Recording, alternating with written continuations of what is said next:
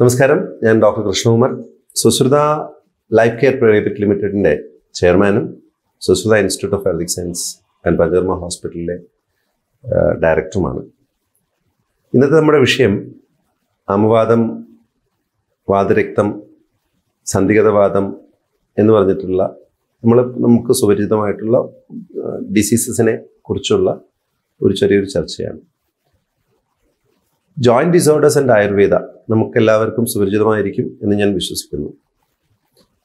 അതിൽ ഒരു പ്രായം കൂടി കൂടിക്കഴിഞ്ഞു കഴിഞ്ഞാൽ സാധാരണഗതിയിൽ നടക്കാൻ പറ്റായിക അങ്ങനെയുള്ള ബുദ്ധിമുട്ടുകൾ ചിലപ്പോൾ ആൾക്കാർക്ക് വരും. വേദന വളരെ കൂടുതലായിരിക്കും. കൂടുതലാകുമ്പോൾ നമ്മൾ എപ്പോഴും ബോധഡ് ആവും മൂവ്മെന്റ് വളരെ ഇമ്പോർട്ടന്റ് ആണ് ജീവിതത്തിൽ അപ്പോൾ അല്ല എന്നുണ്ടെങ്കിൽ ജോയിന്റിന്റെ ഒരു ജോയിന്റിന്റെ ഫംഗ്ഷൻ എന്ന് പറഞ്ഞു കഴിഞ്ഞാൽ ജോയിന്റിനെ വള വളച്ച് നിവർ- നിവർത്തുക എന്നുള്ളത് വേദന ഇല്ലാത്ത രീതിയിൽ വേദന ആർക്കും ഇഷ്ടമില്ലാത്ത ഒരു കാര്യമാണ്. അപ്പോൾ അതിൽ പെയിൻഫുൾ ആയിട്ടുള്ള ഡിസീസുകളുടെ ഗണത്തിൽപ്പെടുന്ന ജോയിന്റ് ഡിസോർഡേഴ്സ് ആണ് ശരിക്കും ആമവാദവും വാതരക്തവും സന്ധിഗതവാദവും. ഈ പറഞ്ഞ ഡിസീസുകളെ പറ്റി പറഞ്ഞാൽ സാധാരണഗതിയിൽ ആർത്രൈറ്റിസ് എന്ന് പറഞ്ഞ ഗണത്തിൽപ്പെടുന്ന രോഗങ്ങളുമായിട്ട് ഇതിന് വളരെയധികം ഒരു സാമ്യമുണ്ട്.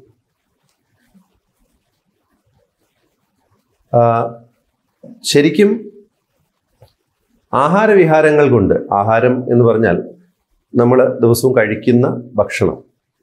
ഭക്ഷണത്തിന്റെ കാരണം ഉള്ളത് കൊണ്ടും വിഹാരങ്ങൾ എന്ന് പറഞ്ഞാൽ ദിവസവും നമ്മൾ ചെയ്യുന്ന ജോലികൾ അതായത് പണികൾ നമ്മുടെ റൊട്ടീൻ ആ റൊട്ടീൻ ഉൾ റൊട്ടീനിന്റെ താളക്രമങ്ങൾ കൊണ്ട് ഈ പറഞ്ഞൊരു രോഗം വരുന്നു എന്നും അതുപോലെ തന്നെ പാരമ്പര്യം കൊണ്ട് ഈ പറഞ്ഞ രോഗം വരാം എന്നും ആയുർവേദത്തിൽ പറയുന്നുണ്ട്. ഞാൻ എന്റെ ഒരു വൈദ്യവൃത്തിയുടെ ഒരു കാലഘട്ടത്തിൽ ഏറ്റവും കൂടുതൽ കണ്ടിരിക്കുന്ന ഒരു രോഗികളാണ് ഈ പറഞ്ഞ സന്ധിഗതവാദം അല്ലെങ്കിൽ വാദരക്തം ആമവാദം. ഇത് മൂന്ന് മൂന്ന് രോഗങ്ങളല്ലേ എന്ന് എല്ലാവർക്കും സംശയം ഉണ്ടാവും. മിക്കവാറും ആൾക്കാർ അത് മൂന്ന് രോഗമായിട്ടായിരിക്കും കണക്കാക്കിയിരിക്കുന്നത്. പക്ഷേ ഇവിടെ ഒരു ഒരു പ്രശ്നം എന്നാന്ന് ചോദിച്ചു കഴിഞ്ഞാൽ ആയുർവേദത്തിൽ ആണ് ഈ പറഞ്ഞ ആമവാദവും സന്ധിവാദവും വാതരക്തത്തിനെ കുറിച്ചും പറഞ്ഞിരിക്കുന്നത്. ഇത് മൂന്ന് രോഗമാണ് എന്ന് പറയുന്നതിനെക്കാട്ടിയും കുറച്ചുകൂടെ നമ്മളതിനെ വിവരിക്കേണ്ടത് ഒരു രോഗത്തിന്റെ മൂന്ന് സ്റ്റേജസ് ആകാം ഈ പറഞ്ഞ ആമവാദവും വാതരക്തവും സന്ധിഗതവാദവും. ഇനി എന്താണ് ഈ ആമവാദം? ആമവാദം സന്ധിക്ക് കാര്യമായ നാശനഷ്ടം ഉണ്ടാവില്ല. പക്ഷേ സന്ധികളിൽ നീരുണ്ടാവും. ഈ നീര് ഇന്നൊരു ദിവസം നമ്മൾ ഒരു ജോയിന്റിൽ കണ്ടാൽ അടുത്ത് വേറൊരു ജോയിന്റിലായിരിക്കും അടുത്ത ദിവസം നമുക്ക് കാണേണ്ടി വരുന്നത് അല്ല കാണുന്നത്. പോരാത്തതിന് അത്യധികമായിട്ടുള്ള വേദന ഉണ്ടാവും അതിന്റെ കൂട്ടത്തിൽ പനിയും ഉണ്ടാകും എന്ന് ആണ് പറയുന്നത്. പക്ഷേ എന്നാൽ രക്തവാദം എന്ന് പറഞ്ഞാൽ ഒരു ജോയിന്റിൽ അഥവാ നീരും വേദനയും ഉണ്ടായാൽ ആ ജോയിന്റിൽ കണ്ടിന്യൂസ് ആയിട്ട് ആ ജോയിന്റിൽ തന്നെ ഉണ്ടാവും. പ്രധാനമായിട്ടും നമ്മുടെ കൈകാലുകളിലുള്ള ഏറ്റവും താഴത്തെ നിലയിൽ ഭൂഗുരുത്വാകർഷണത്തിന്റെ ഒരു കണ്ടീഷനിൽ താഴോട്ട് നിൽക്കുന്ന രീതിയിലുള്ള ജോയിന്റുകൾ ഏതൊക്കെയാണോ ആ ജോയിന്റുകളിലായിരിക്കും ഈ വേദന ഇത് ഇതുപോലുള്ള വേദന കൂടുന്നത്. പോരാത്തതിന് ചുമപ്പ് നിറം ഉണ്ടാകാം അല്ലെങ്കിൽ ചുടിച്ചിലുണ്ടാകാം. ചിലപ്പോൾ പഴുപ്പ് പഴുപ്പുണ്ടാകാം ആ ജോയിന്റിൽ അസഹനീയമായിട്ടുള്ള തേൾ കുത്തുന്നത് പോലുള്ള വേദന ഉണ്ടാവാം. ഇതിനെ രക്തവാദം അല്ലെങ്കിൽ വാദരക്തം എന്നൊക്കെയുള്ള പേരിൽ പറയും. ശരിക്കും പറഞ്ഞാൽ ആമവാദം ഒരു രോഗ ഒരു ജോയിന്റ് ഡിസോർഡറിന്റെ ആദ്യത്തെ സ്റ്റേജ് ആക്കി നമുക്ക് കണക്കാക്കാം. വാദരക്തം രണ്ടാമത്തെ സ്റ്റേജ് ആക്കി നമുക്ക് കണക്കാക്കാം. ഈ- രണ്ട് കണ്ടീഷൻ വന്നു കഴിഞ്ഞാലും അടുത്ത കണ്ടീഷനിലേക്ക് പ്രോഗ്രസ് ആവും എന്നുള്ളത് ഒരു അലിഖിതമായ നിയമമാണ് എന്ന് കണക്കാ കണക്കാക്കാം. ഇതിൽ ആദ്യത്തെ കണ്ടീഷൻ വന്നു തന്നെ രണ്ടാമത്തെ കണ്ടീഷൻ വരണമെന്ന് നിർബന്ധമില്ല. അതിന്റെ കാരണങ്ങൾ അനുസരിച്ചിട്ടിരിക്കും ഫോർ എക്സാമ്പിൾ ഒരു എപ്പോഴെങ്കിലും നമ്മളൊരു തവണ താഴെ വീഴുകയോ അല്ലെങ്കിൽ ഒരു ആക്സിഡന്റ് പറ്റുകയോ ചെയ്തിട്ട് ഒരു ജോയിന്റിന്റെ വയലേഷൻ ഉണ്ടായാൽ എപ്പോഴും അകത്തുള്ള രക്തക്കൊഴലുകൾ പൊട്ടുകയും രക്തക്കൊഴൽ പൊട്ടിയാൽ ഡയറക്റ്റായിട്ട് എന്തുണ്ടാകും? അവിടെ അടവുകൾ ഉണ്ടാവുകയും രക്തവാദം പോലുള്ള ഒരു രോഗം വരികയും ചെയ്യും. അതിന് ആമവാദം എന്ന് പറഞ്ഞിട്ടുള്ള ഒരു ഫസ്റ്റ് കണ്ടീഷൻ ഉണ്ടാവണം എന്ന് നിർബന്ധം ഇല്ല. ഈ ആമവാദം ആദ്യം ഉണ്ടായി കഴിഞ്ഞതിന് ശേഷം അത് രക്തവാദമായിട്ട് പിന്നീട് സന്ധിഗതവാദമാകുന്നു സന്ധിഗതവാദം എന്ന് പറഞ്ഞു കഴിഞ്ഞാൽ ജോയിന്റിനെ നമ്മൾ അനക്കുമ്പോൾ ജോയിന്റിന്റെ അകത്ത് സൗണ്ട് ഉണ്ടാവുക. ജോയിന്റിന്റെ ഫങ്ഷൻ നേരാമണ്ണം നടക്കാതിരിക്കുക. ജോയിന്റ് സ്റ്റിഫായിരിക്കുന്ന ഒരു കണ്ടീഷനെ കുറിച്ചാണ് അതാണ് സന്ധിഗതവാദം. സന്ധിഗതവാദം ചിലപ്പോൾ എല്ലാ കണ്ടീഷനിലും അങ്ങനെ വരണമെന്നില്ല. പക്ഷേ അവിടെ വേദനയോ അല്ല എന്നുണ്ടെങ്കിൽ ജോയിന്റ് ഒട്ടും അന- അനങ്ങാതിരിക്കുന്ന ഒരു കണ്ടീഷനും അവിടെ സംഭവിക്കാം. അപ്പോൾ കഴുത്ത് തിരിയാതിരിക്കുക ഒരേ സൈഡിൽ തന്നെ നോക്കിയിരിക്കുക അല്ലാന്നുണ്ടെങ്കിൽ വളയാൻ പറ്റാതിരിക്കുക സാധാരണഗതിയിൽ പലതരത്തിലുള്ള ആർത്തൈറ്റിസും ഉണ്ട് അതിനെക്കുറിച്ച് നമുക്ക് വഴിയെ സംസാരിക്കാം. പക്ഷേ എന്നാലും ഈ ഒരു ജോയിന്റ് സ്റ്റിഫ്നെസ് കൂടുതലുള്ള ഒരു കണ്ടീഷനാണ് ജോയിന്റിന്റെ നാശനഷ്ടത്തിന്റെ ഏറ്റവും അവസാനത്തെ കണ്ടീഷൻ ആയിരിക്കും മിക്കവാറും സന്ധിഗതവാദം. അത് ആമവാദമോ വാദരക്തമോ പ്രീസീഡ് ചെയ്യുന്നത് കൊണ്ട് ഉണ്ടാകുന്ന ഒരു രോഗമായിട്ടാണ് കണക്കാക്കുന്നത് last stage of joint disease. അതിൽ ഇതിനെ എന്ത് കാരണങ്ങൾ കൊണ്ടാണ് ഇത് ഉണ്ടാകുന്നത് എന്ന് ചോദിച്ചാൽ ആയുർവേദത്തിനകത്ത് ആമം എന്ന് പറഞ്ഞാൽ ദഹനക്കേട് എന്നാണ് അതിന്റെ വളരെ സിമ്പിളാണ് ഒരുപാട് കൺഫ്യൂഷൻസോ അങ്ങനെ ഒന്നുമില്ല. ദഹിക്കാത്ത ആഹാരം ഒരാൾ കഴിക്കുക അല്ല എന്നുണ്ടെങ്കിൽ രോഗത്തിന്റെ കാരണം കൊണ്ട് ആഹാരം ദഹിക്കാതിരിക്കുന്ന ഒരു ഒരവസ്ഥ സംജാതമാവുകയോ ചെയ്താൽ രക്തക്കൊഴലിനകത്ത് ഇൻഡൈജഷൻ ഇൻഡൈജസ്റ്റീവ് ആയിട്ടുള്ള ഫുഡ് മെറ്റീരിയൽസ് സർക്കുലേറ്റ് ആവുകയും അത് ജോയിന്റിന്റെ ഉള്ളിൽ ഉള്ള ഒരു കോംപ്ലക്സ് ആയിട്ടുള്ള ഒരു സ്ട്രക്ചറാണ് ശരിക്കും ജോയിന്റ് ആ സന്ധിയുടെ ഉള്ളിൽ കൂടെ ഒഴുകുന്ന രക്തക്കൊഴലുകൾ വളരെ മൈന്യൂട്ടായിരിക്കും വളരെ ചെറിയ രക്തക്കൊഴലുകളായിരിക്കും ആ ചെറിയ രക്തക്കൊഴലുകൾക്കുള്ളിൽ അടവുകൾ ഉണ്ടാക്കുകയും അടവുകൾ ഉണ്ടാക്കിയിട്ട് രക്തക്കുഴലിന് നാശനഷ്ടം ഒന്നും സംഭവിച്ചിട്ടില്ല എങ്കിൽ സാധാരണഗതിയിൽ ചിലപ്പോൾ അടുത്ത ദിവസം മുന്നിലേക്ക് തള്ളിപ്പോവുകയും ചെയ്യും. ഇങ്ങനെയുള്ള ഒരു രോഗം വരുമ്പോൾ അതിരാവിലെ ഉറക്കം എഴുന്നേൽക്കുന്ന സമയത്ത് നമുക്ക് ശരിക്കും മടക്കി നിവർക്കാൻ ബുദ്ധിമുട്ടുണ്ടാവും.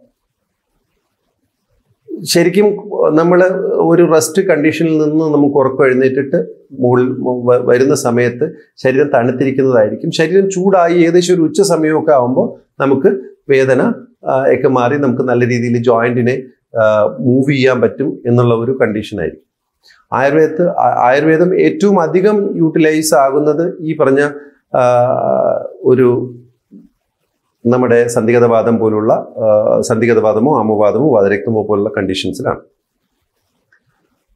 അതിൽ ദഹിക്കാത്ത ആഹാരങ്ങൾ ഇപ്പൊ തന്നെ നമ്മുടെ ഭക്ഷണ പദാർത്ഥം ഇപ്പോഴത്തെ ഈ ജനറേഷന്റെ ഒരു ഭക്ഷണം പണ്ടൊക്കെ ആയിരുന്നെങ്കിൽ ദോശ ഇഡ്ഡലി പുട്ട് ഇടിയപ്പം എന്നൊക്കെ പറഞ്ഞിട്ട് നമുക്ക് നെയിം ചെയ്യാൻ പറ്റുമെന്നുള്ള അല്ലെങ്കിൽ ടേസ്റ്റ് എന്താണെന്ന് നമുക്ക് മനസ്സിലാവുമെന്നുള്ള ഭക്ഷണ പദാർത്ഥങ്ങളായിരുന്നു പണ്ടുണ്ടായിരുന്നത്.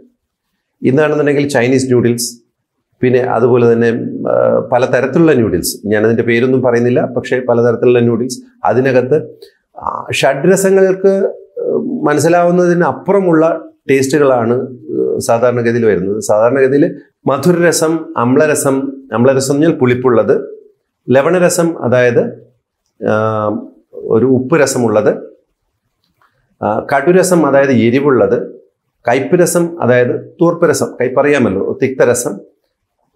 അതുപോലെ തന്നെ കഷായരസം. ഇത്രയുമാണ് ശരിക്കും ആറ് ഐഡന്റിഫൈഡ് ആയിട്ടുള്ള ടേസ്റ്റുകൾ ടേസ്റ്റുകൾ ഉള്ളത് ഈ പറഞ്ഞ ടേസ്റ്റുകളിൽ നിന്നും വളരെയധികം വ്യത്യസ്തമായിട്ടുള്ള കോമ്പിനേഷനിലുള്ള ഫുഡ് മെറ്റീരിയൽസ് നമ്മൾ കഴിക്കുമ്പോൾ ശരിക്കും പറഞ്ഞാൽ അറിഞ്ഞൂടാമത്തെ ഒരാളിനെ കാണുമ്പോൾ നമ്മൾ സംസാരിക്കാതിരിക്കുന്നത് പോലെ അല്ലെങ്കിൽ നമ്മൾ അയാൾ അയാൾ നമ്മൾ നമ്മൾ അയാൾ അയാൾക്കൊരു യൂട്ടിലൈസേഷൻ നമുക്ക് ഒരു പരിചയമില്ലാത്ത ഒരാൾ നമ്മൾ എങ്ങനെ യൂട്ടിലൈസ് ചെയ്യും? അല്ലെങ്കിൽ ഒരാളുമായിട്ട് എങ്ങനെ സംസാരിക്കുക ഒരു സൗഹൃദ സംഭാഷണം നടത്തും. നമുക്ക് ഒരു ഒരു പ്രയോജനവും ഇല്ലാത്ത ഒരാൾ. അങ്ങനെയുള്ള ഒരാളിന്റെ അടുത്ത് നമ്മൾ സംസാരിക്കാത്തത് പോലെ നമ്മുടെ ശരീരത്തിന് അകത്ത് പോകുന്ന എന്ത് ഭക്ഷണ പദാർത്ഥമാണെന്നുണ്ടെങ്കിലും ശരീരത്തിന് അതിന് ഉപയോഗിക്കാൻ കഴിഞ്ഞില്ല എന്നുണ്ടെങ്കിൽ ശരീരവും ഈ അപരിചിതനോടുള്ള സമീപനം ആരോട് കാണിക്കും? നമ്മുടെ ഈ പറഞ്ഞ ഒരു ആഹാര പദാർത്ഥത്തിനോട് കാണിക്കും അല്ലെങ്കിൽ ആ ടേസ്റ്റിനോട് കാണിക്കും.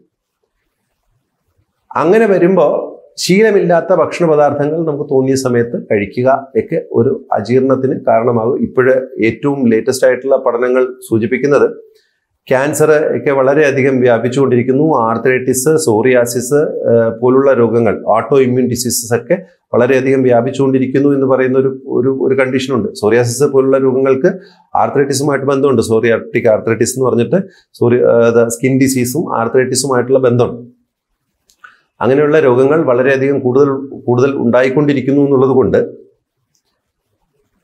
ഈ ഭക്ഷണത്തിന്റെ മുകളിൽ ശരിക്കും നമ്മൾ ശ്രദ്ധിക്കേണ്ടത് അത്യാവശ്യമാണ്. നമ്മുടെ നാട്ടിൽ നമുക്ക് പരിചയമുള്ളത് ചെറുപ്പം മുതലേ നമ്മൾ കഴിച്ചുകൊണ്ടിരിക്കുന്ന ഭക്ഷണ പദാർത്ഥങ്ങൾ കൂടുതൽ കഴിക്കുകയും ദഹനക്കേട് ഉണ്ടെന്നുണ്ടെങ്കിൽ നമ്മൾ ആ സമയത്ത് ചിക്കൻ ബിരിയാണി കഴിക്കാൻ പോവാതിരിക്കുകയും ചെയ്യുക എന്നുള്ളതാണ് യുക്തി സഹജമായ കാര്യം.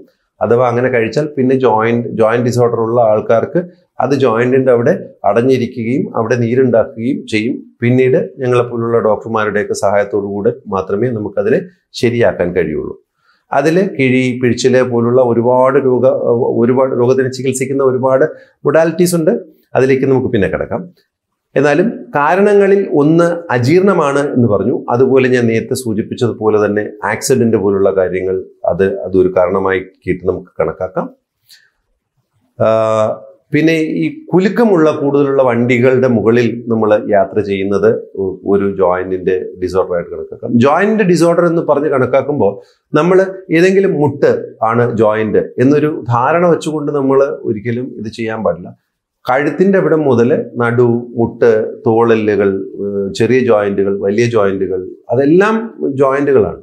അതിന് സാധാരണഗതിയിൽ പോളി ആർത്രൈറ്റിസ് എന്ന് പറഞ്ഞൊരു കണ്ടീഷൻ ആണ് അവിടെ പറയുന്നത്. മോർ ദാൻ ഫൈവ് ജോയിന്റ് അഞ്ച് ജോയിന്റുകൾക്ക് മുകളിൽ ഇത് അഫക്റ്റഡ് ആവുകയാണെങ്കിലാണ് അതിന് പോളി ആർത്രൈറ്റിസ് എന്ന് പറഞ്ഞൊരു ഒരു ഒരു ടേം കൊടുക്കുന്നത്.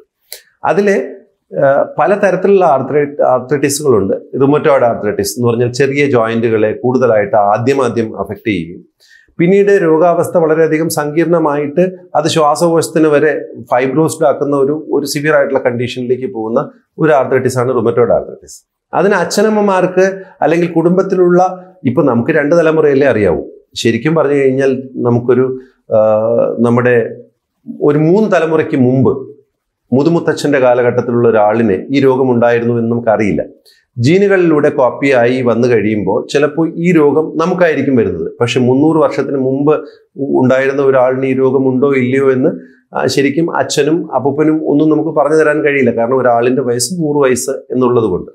അപ്പം അതുകൊണ്ട് പാരമ്പര്യ രോഗത്തിനെ നമ്മൾ തൊട്ടു മുമ്പുള്ള ഒരു തലമുറയിൽ ഉണ്ടായിരുന്ന രോഗം എന്ന് നമ്മൾ കണക്കാക്കേണ്ടതില്ല.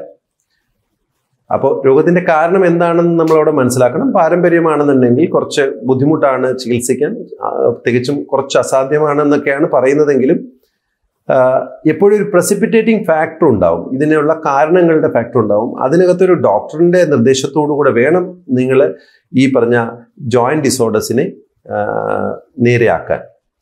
അതിൽ എപ്പോഴും ഒരു ജോയിന്റ് നശിച്ചു പോയാൽ പിന്നീട് നമുക്കതിനെ ശരിയാക്കാൻ കഴിയില്ല. അപ്പോൾ നശിക്കുന്നതിന് മുമ്പേ തന്നെ അതായത് ആമവാദമോ വാതരക്തത്തിന്റെ തുടക്കത്തിലോ നിങ്ങൾ ശരിയാക്കി കഴിഞ്ഞാൽ അത് സന്ധിഗതവാദം ആവുകയില്ല എന്നുള്ളതാണ്.